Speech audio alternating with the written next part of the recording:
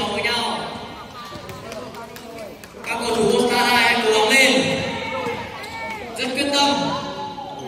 Và lại là một pha bay từ này bên kia rồi. Chúng ta cần chắc chắn hơn để trước là đi con ơi. Phòng thủ nhiệt tình thế nào? Cướp bóng của chị đi con.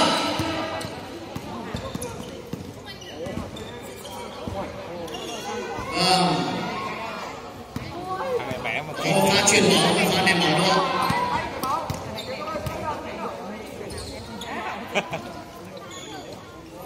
xong phim rồi Tôi lên không dám định lượng những gì vừa xảy ra cầu thủ mình nó chuyên tra ném bóng từ bên này sang bên kia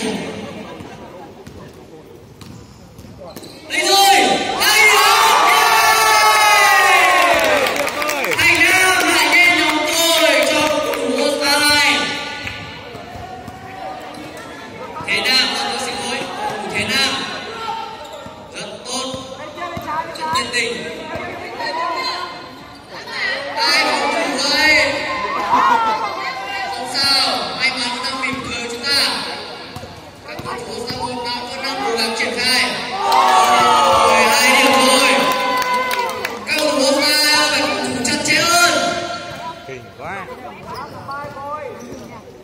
Cầu thủ vừa ghi điểm cho đội hình Costa Home là Hưng Bách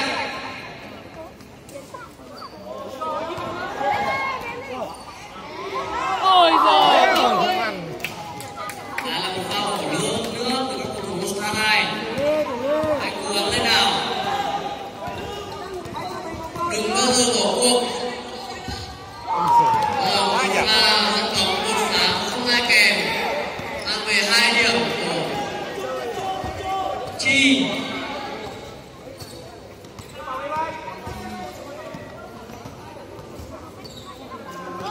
thế nào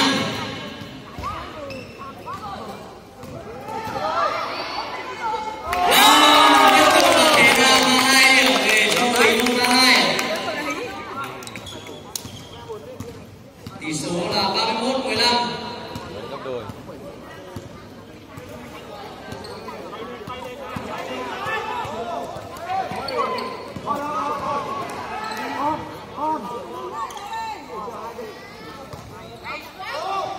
Ôi, tuyệt vời Phan Hưng quá đi ném hơn cả thầy thế này vâng một ghi nhận vô cùng xuất sắc từ đội thủ nhỏ Phan Hưng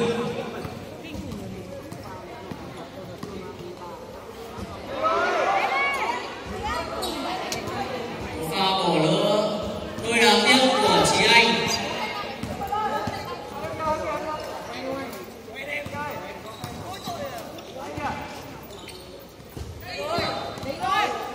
Phan Hưng một bên một lỗ Ôi! Là đi mất lấy áp quá hay của cầu thủ Phan Hưng đội tuyển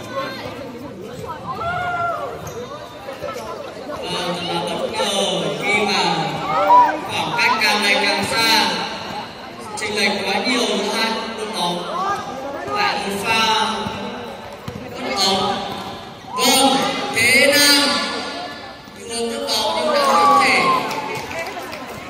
làm tốt hơn ở pha bóng vừa rồi và hưng bách lại mang về hai điểm